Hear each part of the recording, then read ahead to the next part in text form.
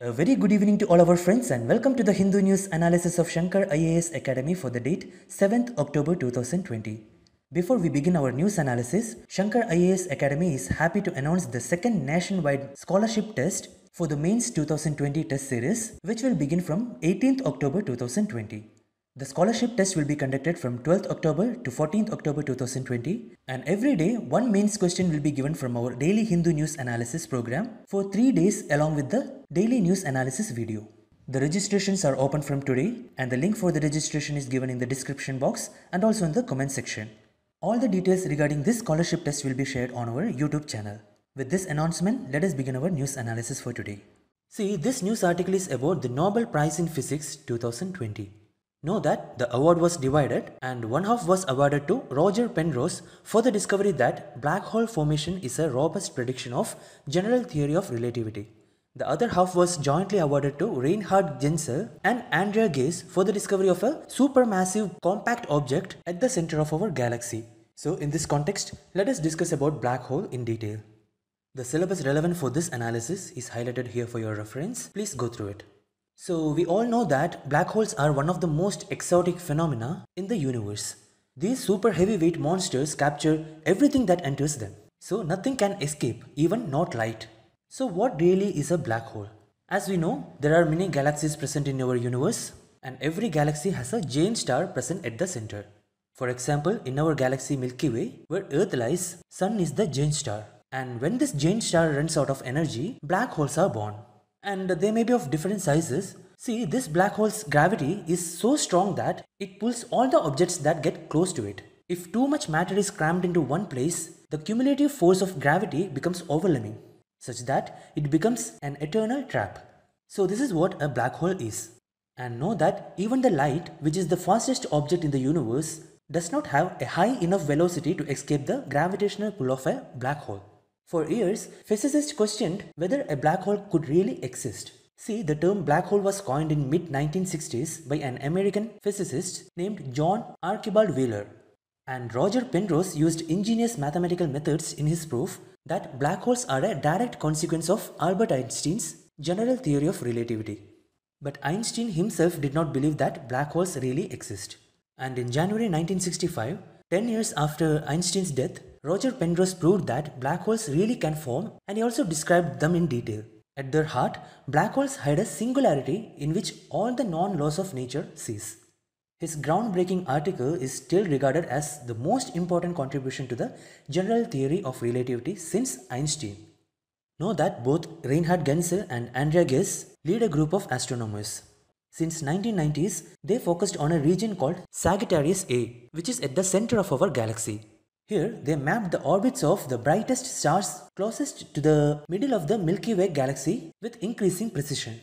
The two groups found an extremely heavy, invisible object that pulls on the jumble of stars, causing them to rush around at dizzying speeds. Around 4 million solar masses are packed together in a region no larger than our solar system. Both Genzel and Ghez used world's largest telescopes to develop methods to see through the huge clouds of interstellar gas and dust to the center of the Milky Way galaxy. They also refined new techniques to compensate for distortions caused by the Earth's atmosphere, building unique instruments and committing themselves to long-term research.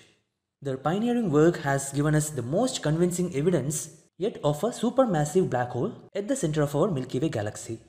But even now, black holes pose many questions that beg for answers and motivate future research. The ongoing studies are focused on the inner structure of a black hole. Scientists are also studying how to test our theory of gravity under the extreme conditions in the immediate vicinity of a black hole. So this is all about black holes. With this we have come to the end of discussion of this topic. Let us move on to the next news. Now this editorial is about how social media and internet have become channels of misinformation or how these platforms do not serve as a means to get correct information and diverse viewpoints. So in this analysis, we will discuss about these aspects in detail and also about the term called echo chamber. The syllabus relevant for this analysis is highlighted here for your reference. Please go through it. First, let us see about the term echo chamber. See, an echo chamber is an environment where a person only encounters or receives information or opinions that reflect and reinforce her or his own information or opinion. This environment can create misinformation and also distort a person's perspective because in this environment, there is difficulty in getting and considering opposing viewpoints and discussing complicated topics. One can easily understand this with the highly targeted algorithms that the social media companies use. See, these algorithms push notifications, advertisements, and recommendations of your recent search again and again. And the scenario is also the same with news. That is why the author says if I show a preference for right wing leaning posts, the algorithms are likely to provide me with even more right wing posts from people and organizations. These algorithms will make newly online Indians to become easy prey for targeted advertising or even to micro targeting. Here, targeting could be for both products and for political viewpoints. So, this is about the term echo chamber. Such algorithms and associated echo chambers are to cause an internet misinformation storm. Now, let us see some of the reasons why the author says misinformation storm in the internet and how relevant is internet and misinformation. See, much before the arrival of internet, there was paucity of news. That is, there were less sources of getting news, particularly national and international news. But this scenario improved with time and just before the arrival of internet, there were number of news providing organizations. Some of these organizations provided quality information through print media even to remote areas. Here we say quality information because it is easy to regulate such print media in terms of authenticity and accuracy. Most of the time, such newspapers or magazines have a column of correction and clarifications. So other than the opinions, the facts given by the newspaper by and large are of much better quality than that of what we see today in internet. So what happened with the arrival of internet?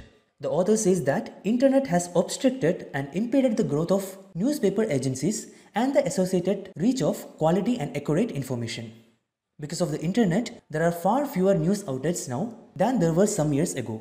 So who is providing news today? Many of us see news projected on Google feed or Facebook feed etc. Such social media platforms do not have journalistic norms.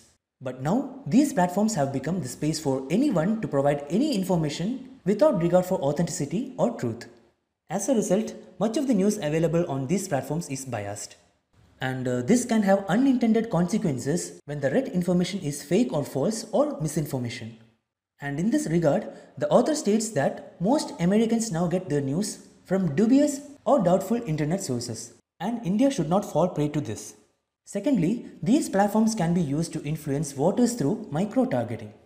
On 17th February 2020, we have discussed in detail about micro-targeting and uh, we have also heard about how data analytics firms such as Cambridge Analytica illegally accessed millions of Facebook profiles to influence voters in Brexit voting and also for the last US election. And recently in India, we were hearing allegations that social media companies suppress a set of ideas to promote other set of ideas and political views for their business interest and others. All these are challenges posed in the form of misinformation as the user is micro-targeted. The user's opinions are framed based on ads or misinformation and not based on comprehensive debate on the particular issue. Thirdly, misinformation in the internet can stoke violence in short notice. In many places in India, people have been attacked by mob because of fake news circulated through social media like WhatsApp. And fourthly, misinformation in internet can divide societies and also polarize them. This again was visible in US where extreme polarization has been taking place in recent years. So what happened in US in terms of getting news from dubious sources or social media deciding outcome of an election or such media acting as polarizing agents should serve as a stark warning for India. So the author calls for sufficient action to take place by bringing a new legislation. This legislation should allow free speech at the same time should also apply pressure to make sure that internet content is filtered for accuracy. With this we have come to the end of analysis of this news article. Now let us move on to the next news article. Now we have this editorial which discusses about the present state of criminal justice system in India. In this context, let us discuss what do we mean by criminal justice system and also the editorial. The syllabus relevant for this analysis is highlighted here for your reference. Please go through it. See, when we say criminal justice system, it includes the law-making bodies such as parliament, the state legislatures, and then the law enforcement authorities such as the police, then the court of law, prison and correctional administration, etc. In a criminal justice system, the main role is played by the law enforcement authorities. This is because they register the crime as a first information report then they only will arrest and produce the accused before the court of law. And also they only will carry out the investigation and submit the final report or charge sheet in the court after the investigation. It is based on this charge sheet the trial will begin in the court. And at the end of the trial in the court, if the accused is convicted of crimes, then the punishment will be declared by the court. And if the accused is acquitted, then he will be set free. So this is in brief about criminal justice system. And know that the state of criminal activities in a society depends upon the efficient functioning of all the stakeholders in the criminal justice system. And also know that we have three arms of the government that is legislature, executive and judiciary. With this background information, let us see the editorial. See, this editorial begins by telling that the definition of crime and what the criminal law should be is determined by the majority government of the day, that is, executive. Not just this, the executive also controls the investigative machinery, that is, the police. All this means that the criminal justice system is determined by the executive. The author of this editorial tells that the criminal justice system in India is in a disarray by quoting the recent activities from the state of Uttar Pradesh. Why the author tells this because the executive has taken the criminal justice system into its hands in these forms. First, in the form of extrajudicial killings, that is, police encounters, where the police do not follow the process of criminal justice system and instead punishment was given by the police itself. Secondly, in the form of enacting laws that undermine the power of another arm of the government, that is, judiciary. After the Anti-Citizenship Act protests in UP, the UP government passed a law that enabled the publishing of massive hoardings with the names and details of the persons allegedly involved in the destruction of properties caused in riots. Here, the government itself has assumed that those set of persons were guilty even before the court pronounced them guilty. And thirdly, in the form of not initiating the due process of criminal justice system, as seen in the recently trending Hathras issues, where the police have not registered the case at all. Instead, what the police did was, it has registered many cases that there is a conspiracy to use this particular incident for political purposes. So from all these three cases, the author has inferred three things. One, there is a disconnect between the two forms of the government, the executive and the judiciary, in matters of criminal justice. Next, the executive has become all the more powerful due to this disconnect. Finally, the judiciary has become executive minded. That is, the courts are willing to help arrive at settlements in the intermediate stages itself instead of following the entire process of criminal justice system. So based on these three inferences, the author has come to a conclusion that the criminal justice system in India has transformed into a problem solving system.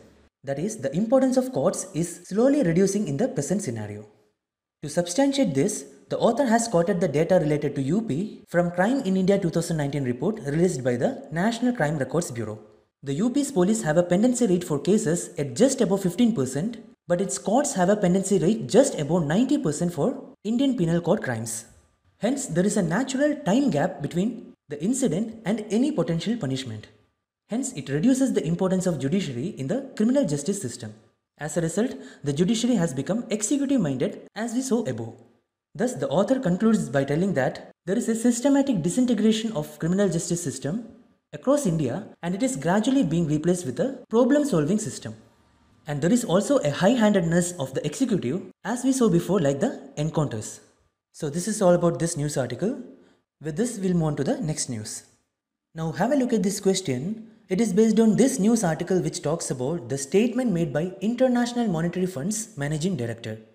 She has noted that the global economic situation is less dire or less terrible, that is, it is slightly better than the economic situation in June 2020. And because of this, IMF is going to do a small upward revision to its 2020 global output forecast, which is its World Economic Outlook update of 2020. We had discussed about World Economic Outlook update and its forecast on our 25th June Hindu News analysis. There we saw that the WEO update has projected a shrinking or contracting global growth of minus 4.9% in 2020. And now a small upward revision will be made to this. She also noted that in the emerging markets and also in the low income countries, the situation will be worse. So they will face an uncertain situation due to weak health systems, high external debts, and dependency on sectors that were most exposed to the pandemic, such as tourism and commodities. Now, in this context, let us discuss about the International Monetary Fund. See, IMF was created in 1945. It is an organization governed by and accountable to the 189 member countries. It is working to foster global monetary cooperation, to secure financial stability, to facilitate international trade, then to promote high employment and uh, sustainable economic growth, and finally to reduce poverty around the world. Thus, IMF's primary purpose is to ensure stability of international monetary system. It does this in three ways. First one, keeping track of global economy and the economies of member countries. And second one, lending to countries with balance of payments difficulties. And the third one, giving practical helps to the members. And apart from this, it also monitors the economic and financial policies of its member countries. Now see this question. Consider the following statements with reference to International Monetary Fund. It is a three statements question. The first statement reads, it is a quota based institution and quota subscriptions are central component of IMF's financial resources. See this statement has two parts. The first half is, it is a quota based institution. See this is correct. IMF is a quota based institution. Quotas are the building blocks of IMF's financial and governance structure. An individual member country's quota broadly reflects its relative position in the world economy. Know that quotas are denominated in special drawing rights or SDRs. Thus, quota subscriptions are central component of the IMF's financial resources. So the second half is also correct, which makes the whole statement as a correct statement. Now the second statement reads, it created the special drawing rights that is SDR an international reserve asset to supplement its member countries' official reserves. See, this statement is also correct. SDR is an international reserve asset created by IMF in 1969 to supplement its member countries' official reserves. SDR serves as the unit of account of the IMF and some other international organizations. And know that SDR is neither a currency nor a claim on IMF. Rather, it is a potential claim on the freely usable currencies of IMF members and SDRs can be exchanged for these currencies. Currently, the value of SDR is based on a basket of five currencies that is US dollar, the euro, the Chinese renminbi, the Japanese yen and the British pound sterling. Now you can easily arrive at the correct answer which is option D as the question asks for the incorrect statements. See coming to third statement, it releases the Global Financial Stability Report and Global Economic Prospects. See we know that this statement is incorrect and see Global Economic Prospects is published by World Bank. And the other one, the Global Financial Stability Report is released by IMF. And we also know that IMF releases the World Economic Outlook. So the correct answer is option D. With this, we'll move on to the next news. Now see this question, it is based on this news article which talks about the Medical Council of India. According to the article, the Medical Council of India recommended a uniform procedure to be followed by all states on execution of bonds by medical students. The bond or agreement is applicable to those who agree to serve state hospitals for a particular period in return for subsidized education. In this context, let us discuss in brief about the Medical Council of India and the newly formed National Medical Commission. Know that the Medical Council of India is a statutory body under the Indian Medical Council Act of 1956. This act was formed to regulate standards of medical education, then permission to start colleges, registration of doctors, standards of professional conduct of medical practitioners, etc. So, Medical Council of India was a statutory body responsible for medical education and practice.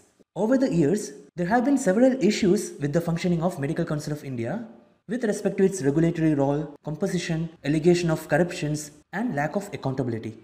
And last year, the government enacted the National Medical Commission Act. And this act repealed the Indian Medical Council Act of 1956 and dissolved the Medical Council of India.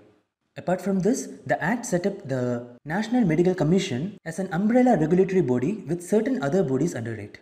Know that the National Medical Commission subsumed the Medical Council of India and would regulate medical education and practice in India.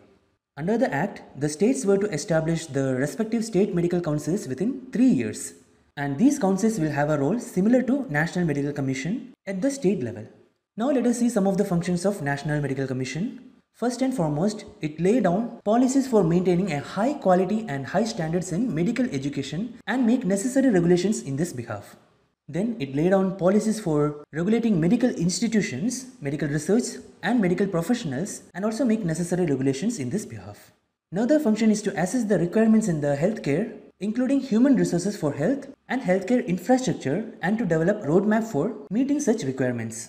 It is also empowered to frame guidelines for determination of fees and all other charges in respect of 50% of seats in private medical institutions. This is also applicable to the deemed to be universities which are governed under the provisions of this act. Finally, let us see the composition of National Medical Commission. See, the commission shall consist of a chairperson, then 10 ex officio members and also 22 part-time members. The chairperson shall be a medical professional of outstanding ability, proven administrative capacity and integrity. He or she shall possess a postgraduate degree in any discipline of medical science from any university and have experience of not less than 20 years in the field of medical science. And out of this, for at least 10 years, he or she shall be a leader in the area of medical education. So this is all about National Medical Commission. Now have a look at this question. Consider the following statement with reference to National Medical Commission. The first statement reads, it is established under the Indian Medical Council Act of 1956. See this statement is incorrect. As we have seen, it was established under the National Medical Commission Act of 2019 which repealed Medical Council of India. Now the statement 2 reads, it lays down policies for regulating medical institutions, medical researchers and medical professionals in India. See this statement is correct. So we have to identify the correct statement or statements from these given statements. See statement 1 is incorrect and statement 2 is correct. So the correct answer is option B 2 only. With this we'll move on to the discussion of practice questions based on today's news analysis. Now see this prelims practice question. Consider the following statements with reference to black holes. It is a two statements question. The first statement reads, it is a region in space where the pulling force of gravity is so strong that even light can't escape. Yes, this statement is correct. The second statement reads, recently it was proved that the black holes are a direct consequence of Albert Einstein's general theory of relativity. Yes, this statement is also correct. We saw it in our discussion. So here in this question, we have to identify the incorrect statement or statements. See, both statements are correct. So the correct answer is option D, neither one nor two. Now we have a previous mains year question which was asked in 2016. And we also have two practice mains questions. Please write your answers and post it in the comment section. Our feedback will be given in a reasonable time frame. And with this, we'll come to the end of analysis of all the news articles taken up for today's discussion and also the practice questions discussion. If you like this video, press the like button, comment and share and do subscribe to Shankar IAS Academy YouTube channel for latest videos and updates relating to civil service preparation. Thank you.